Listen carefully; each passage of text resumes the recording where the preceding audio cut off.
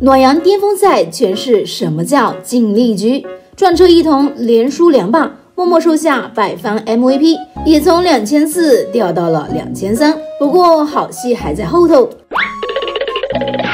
一楼秒选亚瑟很自信，一看就有点不简单。五楼请求帮抢鲁班大师，秀出一百一十一段游走加大国标。狄仁杰点赞说道：“厉害了，我的哥！” 随后五楼掏出常用排行首位的妲己，这种局居然敢直接出亚瑟和妲己。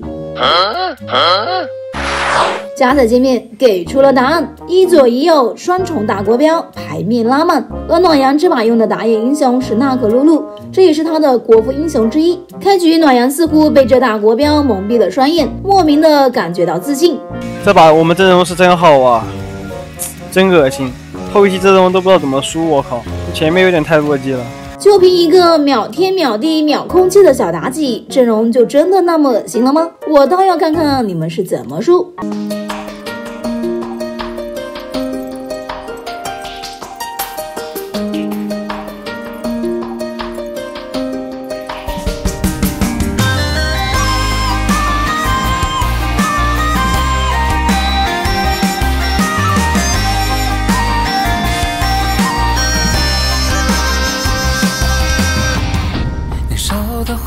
最是饮酒流长，剑下妙笔生花，轻狂也是风雅。永恒夜刹那，他一剑刻下。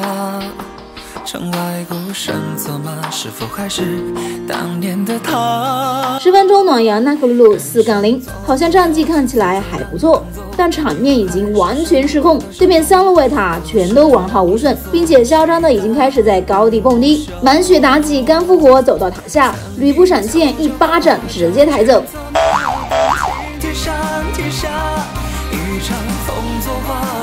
随后中路露娜居然还调戏暖阳。暖阳先打一套，入到大师拉回来，暖阳再补上一道伤害，终于将其击伤。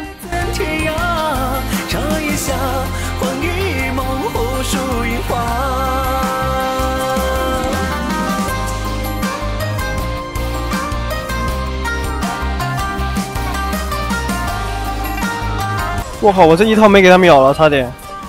我以为我上下打满够的，我靠！这个人细节好一点，还死不了，还能反杀我。十五分钟，暖阳战绩已经来到了八杠零，一个人的超级大顺风换不回队友的大逆风。中路河道一波上头追击夹子，消耗了太多关键技能，被对面支援赶到，一波反打，暖阳一倒，大事不妙。鲁当大师开麦准备喷人。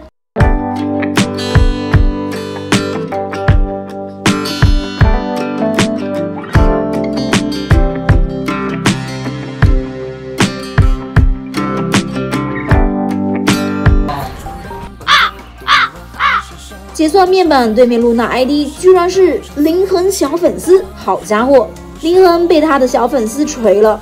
不过想采访一下露娜，嘲讽那一招是跟暖阳学的吗？